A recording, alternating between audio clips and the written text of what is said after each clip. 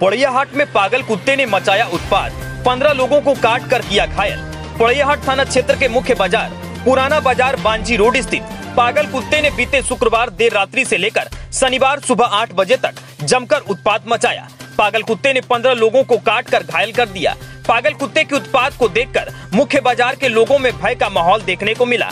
सभी घायलों को आनंद फानन में सामुदायिक स्वास्थ्य केंद्र में भर्ती कराया गया।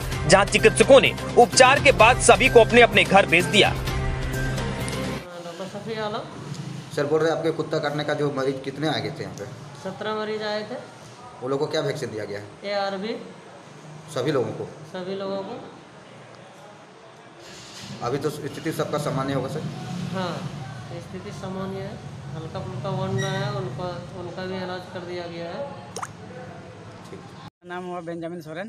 आपको कैसे काटा कुत्ता? वो हटिया से जा रहे थे अपना रूम तो रास्ते में उधर से आया आगे तरफ़ से पीछे तरफ़ से हपक लिया।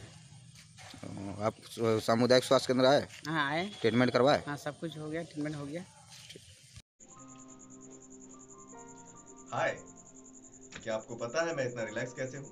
क्योंकि मुझे एक सीक्रेट मिल गया है। जीरोसर ऐप कोरोना से बचना होगा अब और भी आसान। जब आप खरीदारी करेंगे जीरोसर ऐप से। वो भी अपने घर पर ही रहकर स्टे होम स्टे सेफ़ जीरोसर ऐप जो आपको बिल्कुल ही मुफ़्त उपलब्ध है प्ले स्टोर पे.